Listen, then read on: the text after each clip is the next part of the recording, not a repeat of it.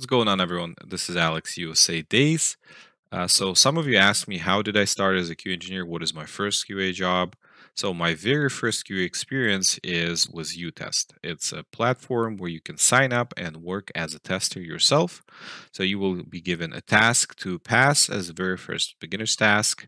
Uh, if you succeed with the task finding bugs, uh, then you're going to go through the training process. It will help you to actually understand the QA better, how to find bugs, what to do, how to do test cases, stuff like that. And then, based on the devices that you will uh, provide into the system, it will start giving you different tasks. Uh, you will get paid by number of bugs found, uh, by test cases completed, and so on. So I tested multiple applications, even uh, one of the famous applications for voice calls. I'm not sure if I can still disclose it. I mean, it's been so far back, so maybe I can talk about what I tested. But it's one of the uh, voice uh, apps that you would use now for communication. Still very popular one. Different type of desktop app, uh, video services, and so on. So whatever devices you provide, uh, they will start sending you tasks, creating uh, test cases, test plans, or just finding bugs in products uh, based on the devices that you put into the system. So at the time, I provided my desktop. Um, some handheld devices, my phone, and so on. So I would regularly do several tasks a day, and the output can differ. But on average, if I mean, if you pick a good amount of tasks. At that point, at that time, I think you could do a couple thousand dollars a month, right? I don't know about now. Uh, the rates could have been different. The amount of tasks you're going to get different. It really greatly depends on what you will do, what is your region, what kind of devices you provide, how much demand is there. So this is my first experience. Uh, from that experience, I moved into the full-time position as a QA engineer, and that is a little bit uh, different experience. So I think with QA in general, you have to think what kind of path you're going to take in your career, uh, because the industry you're going to pick will determine what uh, you will do in the future. It doesn't mean you can't switch from industry uh, to industry, and I've done it all my career. I've been switching different industries, uh, but sometimes the industry you choose, you might get an expert knowledge in it, and then you will be struggling to switch to another industry. So, for example, if you'll go into the banking and you will uh, learn like some financial regulations, uh, what are uh, like specifics for that, then it's going to be hard to move to any other sort of testing because you're going to be kind of an expert in banking and you're going to get stuck in the industry. So, that's a possibility. Uh, so I started my journey in a mix of a hardware and software. It's a semiconductor company that was bought out, uh, but it was making Wi-Fi chips. Some of the Wi-Fi chips that I've tested and worked on, probably in your devices, if you live in the United States, even though they are now older devices, they have 11AC uh, standard, but still a lot of them distributed. So we were not directly distributing to the consumers, but we were distributing to distributors. So, uh, as a manufacturer providing chips to another manufacturer, then those will go in the retail. Uh, so you can think about uh, Comcast, Cox Cable, Verizon, AT&T, and so on. So the things when I started to work as a engineer, the things that I was doing when I was working full time. So um, testing phones and tablets mostly, connecting them to the our modem, measuring the throughput speed. There are different protocols, TCP and UDP. Uh, one is protocol that makes sure that you don't lose any frames. Other is more for like video streaming, like UDP. Um, I'm not going to go into technical details, but so technically testing how devices connect, how is video quality on those devices to our uh, router or prototype was our chip, uh, or our um, uh, customers that had our chip in their products. So testing that uh, was different security configuration, with security, without security, uh, different distances uh, in different locations, maximum minimum dis- distance, multiple devices connected versus uh, one device. If there was like rad- radar on or off, uh, if there was noise in the air or off, what you know, there's there's so many different combinations. So like a great amount of data gathering, uh, measuring throughput was using special tools to do that. Um, sometimes it would be like natural traffic. Let's say you could run a video and stream a video. Sometimes it would be generated traffic with different tools. Uh, so from that, uh, it kind of expanded and grew in multiple areas of uh, networking, uh, some coding, uh, some automation. So a lot of different things were done, but you know it kind of progressed. So in the position as you grew, as I grew through uh, through the ranks of QA and with the company because we started just with a few engineers and kind of build everything from scratch. Uh, so testing our devices against different third-party devices, uh, throughput and everything, uh, video quality, uh, how long it can stay connected, what happens if you have like, multiple connections. Uh, then was that uh, testing our devices and then competitor devices uh, and making sure that you know our throughput is at the levels it should be that competitors are not much better than us or even like we are better than competitors. Uh, we always had all the new gadgets. So anything comes out we would have it for testing because it would have the latest wi-fi chips. And there are really not so many uh, wi-fi players on the market I think I'm not I'm not in the market. I'm not in that industry now for a while, so I, I can't share, say for sure. But it's uh, Qualcomm, uh, Realtek, uh, Broadcom, Intel, and um, and then that was us, Quantenna. But again, that was bought out. So if, when you think about Wi-Fi, there's really not not a lot of competitors. Uh, maybe I forgot some some players, but uh, so you would get all those competitors, uh, their modems or routers, so-called access points, and then test against different devices that we work with. Uh, so a lot of manual data gathering, right? Running traffic, uh, gathering data. Now, then once it evolved, kind of other responsibilities came. Um, was that so? Then we started. Uh, so first of all, learning Linux and networking. Uh, part of Wi-Fi.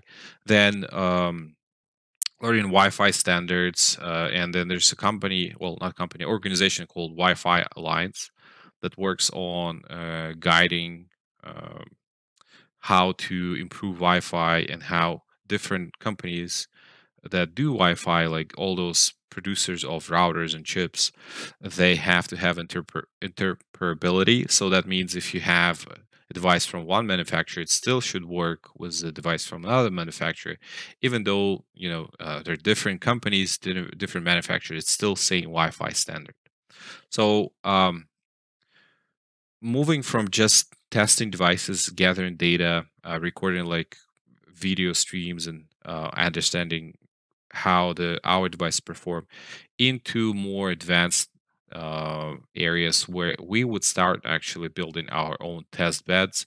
So we would buy uh, equipment necessary. So it's like you build your testing lab uh, where you have isolated uh, cabinets that don't other any signal don't get through. You put devices in those cabinets, you connect them with cables, um, you configure the uh, computers that connected to those devices to run them. So uh, we created like an image where everything sets up uh, disk on Ubuntu. Linux was network configuration, everything pre-uploaded, and then that image we just started cloning with like a docking station where you clone uh, uh, hard drives, and then ordering all the same PCs cloning from one device, uh, one for and putting those cloned uh, drives in all of the PCs, bringing multiple test beds, connecting them with access points, and so on. So building test beds, uh, manual testing uh, data and traffic, and gathering results, analyzing those results. Then automation came in place. So uh, writing automation and scheduling tests. Now after that. Um, also we had some solutions that would be like a web platform for customers to so they can get the data on their wi-fi how many times someone connects disconnects. So testing the uh, graphical user interface for that uh, and overall uh, accessibility uh, security of the application stuff like that. So there was like web testing involved. Uh, and at some point one of the biggest part of my uh, work became actually participating with wi-fi Al- alliance going to PlugFest, so the standards for development of uh, different Wi-Fi uh, standard. So multiple companies get together, they bring their devices. There is a plan that is created how this Wi-Fi should work, and all the manufacturers create a product to abide by that plan. They get together and test that everything should work, and um, so participate in those Plugfest and then certifying our devices. So taking the device, your chip, in a special lab for like multiple days where you go through the test plans created by Wi-Fi Alliance, going through all their tests on how your device should be configurable, uh, what kind of uh, details you know you should be sending in your frame. So we would use something called Wireshark and a, a device called Sniffer. So essentially, you turn your uh, you turn your Wi-Fi card into like a spy device that sniffs all older frames in the radio signal. So because Wi-Fi is pretty much like a radio, and then you analyze those frames in Wireshark, looking how it associates, dissociates, how it connects, what kind of communication happening within, and so on. So um, spending sometimes like weeks on uh, on the in the labs, third party labs authorized by Wi-Fi Alliance to give the certification uh, for the device. So if we have a device and we want to say, okay, it's Wi-Fi Alliance certified, it it's uh, supports certain standard, uh, so let's say 11AC uh, or 11N or other 11AX, uh, whatever there is now for uh, Wi-Fi. So you go to the lab, you bring your device, and then you will test in lab with other devices in that lab that abide by the standard that all the communication is correct, passing all the tests, minimal throughput thresholds, uh, and so on. So yeah, um, so that was the main part of what I was doing as a tester. So a lot of different things. Kind of changed and grew uh, throughout the career, and I think it kind of picked before I switched jobs into that role of uh, I don't know if it's it was like pure testing now, but more of kind of uh, making sure that our device gets certified uh, and going through third-party li- uh, labs and bringing our devices and doing certification. So yeah, that was my uh, first QA experience. I mean, there was a little problem to get into another industry because that is very not very niche, but it is pretty niche. So uh, you do have uh, wireless on multiple devices, and then you do have like mobile and LTE and like IoT and mesh networks and all of that stuff. Uh, you, you can go in multiple different directions, but Wi-Fi in itself is also a niche. So when I switched to the next industry, which would be like e-commerce and then uh, online uh, web-based gaming, I mean that was a pretty big switch. So a lot of things you kind of figure out and uh, uh, learn them again. So that's and uh, that's also part of the QA. So uh, QA as a QA engineer, if you get in one industry, you can stay there for years. That's true. But if you want to switch and, and I and I wanted to do something else, I wanted to do dif- different, not a Wi-Fi. So that's why I went into more of a gaming and e-commerce. Um, but you might, you know, you might have to like learn many things from scratch. The testing principles, the approach to understanding how to test products, that kind of stays as basic thing. But the tools, uh, what you will be testing, what to focus on, all of those things, they definitely change with the industry. So uh, hopefully uh, that was interesting. You learned something new, and that answers your question. What was my first uh, QA job? This was Alex USA Days. Thanks for watching and bye bye.